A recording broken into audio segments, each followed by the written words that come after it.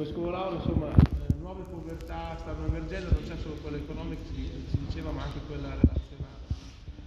Sì, stanno emergendo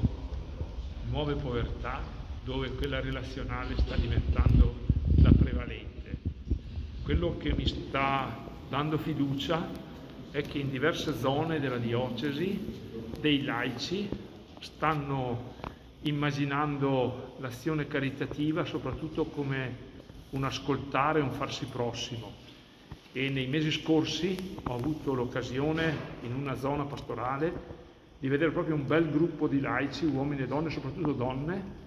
che raccoglievano adesioni per dar vita veramente a un ascolto capillare del territorio e soprattutto per essere orecchio attento a tante situazioni affaticate, che spesso sono dietro a porte apparentemente tranquille dove non non si penserebbe ci siano grandi fatiche,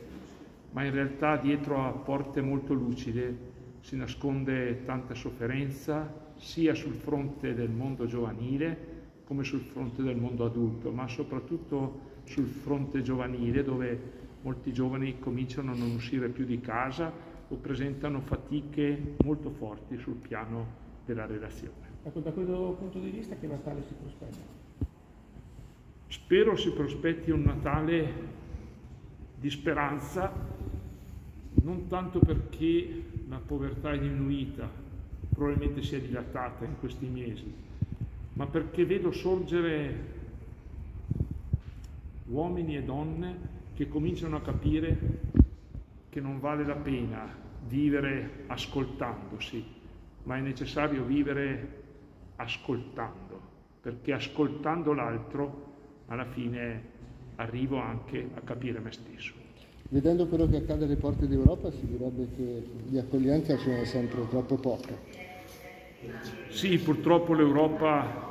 che chiamiamo vecchio continente è davvero vecchia, prima ancora che anagraficamente, perché sta perdendo l'esperienza che l'ha caratterizzata tanto nel passato della solidarietà e del sperimentarsi comunità. L'Europa è fatta purtroppo da tanti uomini e donne che stanno interpretandosi, interpretando la loro vita come delle monadi che girano su se stesse. La vera carità per l'Europa sarebbe l'arrivo di qualcuno che la riporta a uscire al largo e a dire ai suoi figli e alle sue figlie dal vivere narcisisticamente attorno a te stesso non hai nessun futuro.